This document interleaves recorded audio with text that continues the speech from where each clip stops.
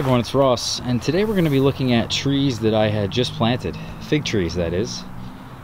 And I want to talk about kind of shaping them to start, right? What's the optimal shape that you want to have with your fig tree? Well, if we look at some of the ones I've planted, these are how I grew them as container plants. Um, nice long single stem trunks. We get the branching up high not too high because of our storage concerns, but we let them branch out. The first year we get them as a single stem plant. We cut that back and then let it Y off. And it grows two different shoots and then from there we let it shoot out again. And that's kind of the shape that I've liked to use I have used in the past with all of my container trees. It works really well and they're usually more productive this way. But in the ground here, at least, our trees honestly will never grow as a tree. They'll never stay as a tree. I guess you could potentially keep them as a tree if you wrapped it every year. But that's never going to happen, at least for me. And I think inevitably it wants to become a bush. It wants to become a multi-stemmed bush. Um, very similar to how this tree currently is. You can see there's all kinds of suckers that I left on here last year that have just stayed here and it just wants to keep continually suckering. And usually the suckers are more healthy um, you know less fig mosaic virus. Also they can be more productive. Uh, they actually can be quite amazing. So um, keeping them as a single stem tree I think is beautiful. And if I lived in California Arizona somewhere where my trees took very minimal damage um, maybe like zone 8 or higher, then I would keep my trees as a single stem tree, uh, the figs that is. So, but here in this climate, like I said, we just get too cold. It's inevitably going to revert back to what it wants to do. Um, so why fight that? Um, so what I'm going to do today is that I'm going to come in here to the trees that we've planted, also to some of the container plants, because I've realized some of the container trees are just too tall uh, for the storage area that they're in. Um, underneath the sunroom here, it's only three feet, I think, tall. So my trees have to be pruned back pretty hard every year to compensate for that lack of, of height in the storage area. So um, basically, that's what we're gonna do. We're gonna come in here and really prune a lot of this growth out.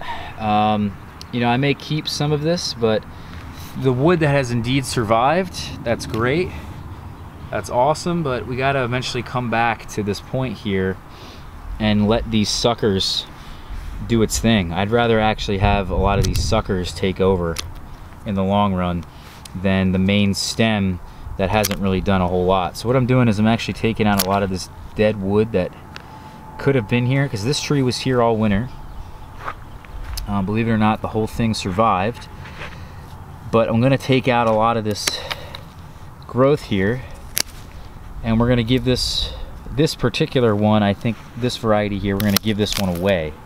So if anyone's really interested um, in getting cuttings of the varieties of this particular variety and a couple others, we're gonna do a small, a very small giveaway on our figs and that's ourfigs.com. It's a really, really great community for people that grow figs. I'm a part of it. I've been a part of it for years. People over there are wonderful. So to kind of give back to that community, this is what I'm going to be doing is giving them a small giveaway. And of course, a lot of my viewers are on that forum already. So as a thank you as well to the viewers, not just the community. Uh, but all you have to do is be a part of our figs and you will be uh, have an opportunity to win the cuttings in the giveaway. Um, nothing. It's not going to be too crazy or too fancy. Some of these varieties maybe have never even fruited for me. What we are going to do is actually get the uh, the marker here and label them all. And this wood is going to be great for late season rooting. Maybe rooting things outside, outdoors but also if you wanted to do grafting I think this is perfect here we have LSU Champagne I think the LSU Champagne, a lot of people have been asking me for this one, so we're gonna sell it. And uh, this is just one that we are going to put up on FigBid.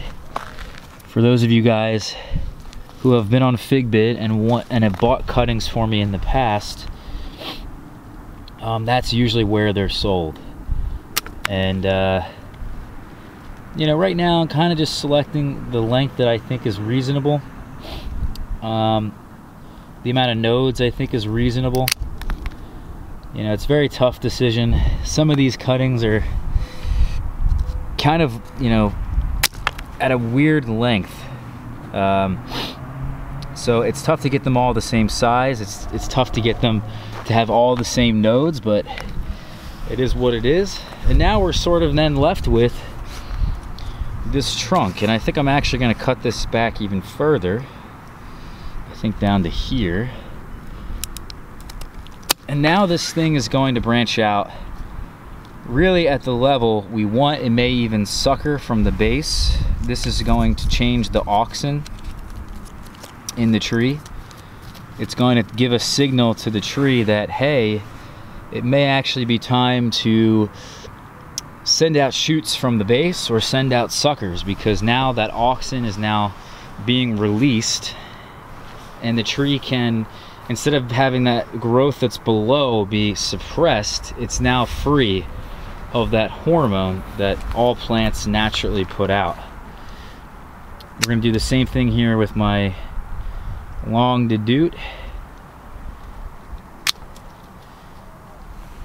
and that's sort of it I think I'm going to show you guys on the video but there will be other varieties that we're certainly going to do. Look how extreme this one was. But this certainly will come back pretty strong I have no doubts. And it's going to branch out at the height that we want um, I just realized over time this is just a better it's a better idea to do this now additionally we're to cut I think a little bit more off of the Roscianca persimmon. Someone had asked me recently and I gladly said yes.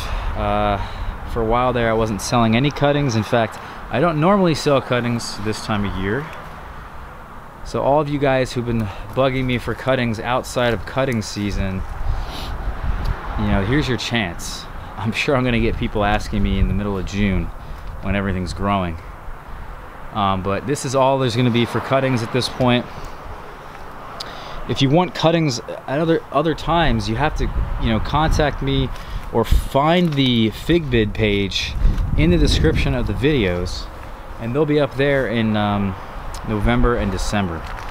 But I think I'm to take this entire branch out here on the Roscianca because there's a little bit of a wound here that I don't really like, and there's also a wound down there I may let the tree do its thing and let it fruit and then next year come in and take those two limbs out. I'm not entirely sure, but that's really the plan. Um, I think the Illinois everbearing here, I actually have cuttings that I've stuck in the ground to see if they'll root themselves. And they've been here all winter. I see very little desiccation on this, believe it or not. That's just the first like couple millimeters there. And I have a feeling they're gonna root out. It's gonna be pretty interesting to see. But uh, when people ask me, should I prune my fig? When should I prune my fig? Well, if your tree is dormant, go ahead. Look what I just did. You know, there you go. Here's another example right down there. Um, this is the Teramo Unknown here. This thing got kicked back by the cold, but you know what? I probably would have done the same thing anyway. So trying to get that branching at a lower height for these in-ground trees that's all that really matters to me all right everyone that is the video i'll catch y'all soon um, yeah just pay attention to figbid in the description um, and that will tell you guys any of the results or any of the listings that are be listed for sale. All right? Take care everyone. I'll catch you tomorrow